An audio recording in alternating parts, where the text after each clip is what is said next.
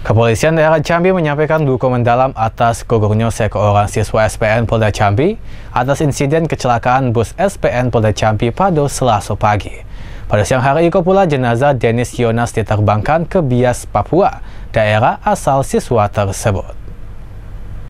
Kapolda Jambi mewakili jajarannya menyampaikan duka mendalam atas insiden kecelakaan bus SPN Kota Jambi dengan truk pengangkut kayu yang menyebabkan penumpang bus yang merupakan siswa SPN Polda Jambi meninggal dunia. Kapolda Jambi Irjen Pol Rahmat Wibowo mengatakan, seharusnya pada Selasa 7 Desember hari Iko merupakan hari terakhir latihan kerja dan seharusnya pada Selasa pagi Iko mendapatkan arahan langsung dari Kapolda Jambi.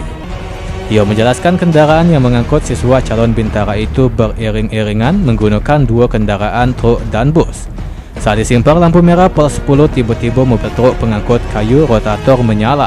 Kapolda mengatakan menurut undang-undang mobil iringan Iko tergolong mengangkut pasukan sehingga mendapat prioritas untuk mendahului. Irjen Pol Rahmat mengatakan dirinya akan mengantarkan langsung jenazah siswa itu ke daerah asalnya saat itu dua orang siswa lainnya tengah menjalani perawatan serius di ruang ICU Rumah Sakit Bayangkara Jambi sedangkan sisanya mengalami luka-luka dan masih dalam observasi dokter. Hari ini kita akan berangkatkan kembali ke daerah asal. Kalau diizinkan saya sendiri akan mengantar untuk menyampaikan duka kepada keluarga. Kemudian untuk supir kendaraan truk kayu sudah diamankan. Dugaan sementara kendaraan itu terlihat overload dan overdimensi. Berasal dari Sorolangun. Supir berangkat sekitar maghrib sampai di, di daerah Tembesi pukul 2 pagi. Kemudian tadi pagi sekitar pukul 4 melanjutkan perjalanan lagi menuju daerah Jambi Timur sampai di lokasi terjadi kecelakaan. Tentunya hal ini menjadi pelajaran bagi kita semua.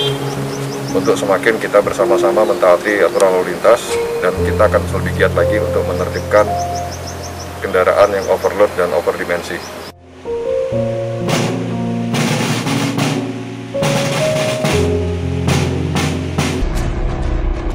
Pada Selasa siang sekitar pukul 12 lewat 30 jenazah Denis langsung dibawa ke Bandara Sultan Taha Jambi dari Rumah Sakit Bayangkara Jambi. Dimas Sanjaya, Cek TV, Ngabar.